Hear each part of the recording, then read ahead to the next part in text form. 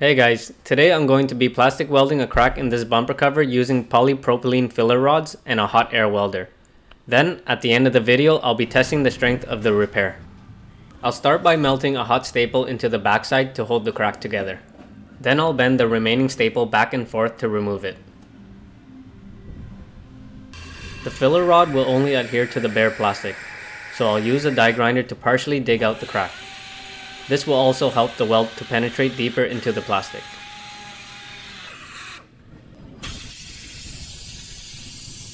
I'm ready to weld now.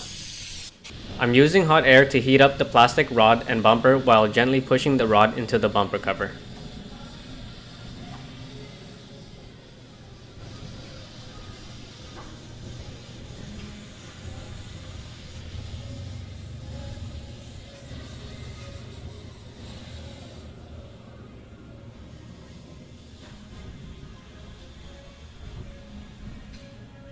I'll let that cool down, then I'll give it a quick tidy with the die grinder.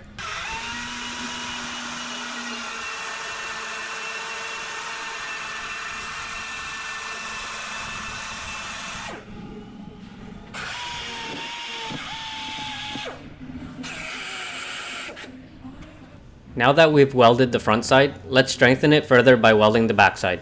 This will make it fully welded and as strong as can be. I'll do the same steps I did on the front side, but on the back side, I'll strengthen the crack by welding a strip perpendicular to it right at the edge.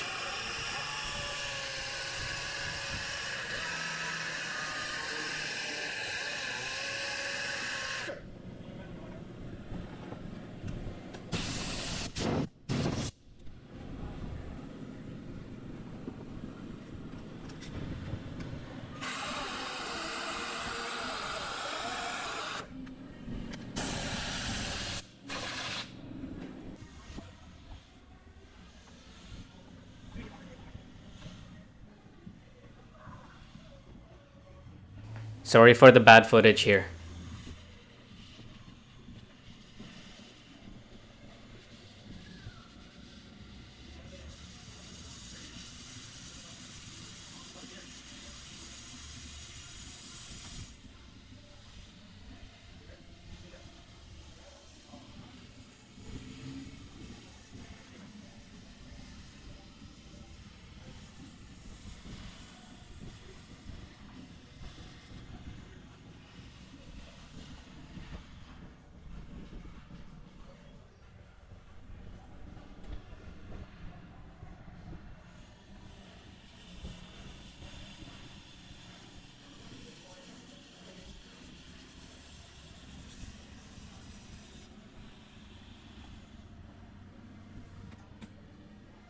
Alright guys, so the bumper is fully welded and cooled down.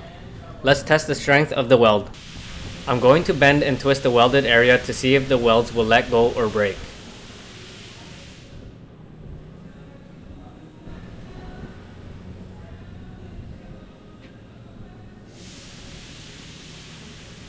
Here I try again for the second attempt at a different angle.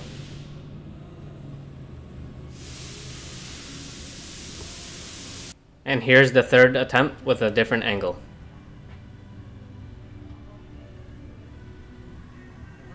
If you have any other strength tests that you would like to see, please leave a comment and I could try them as well.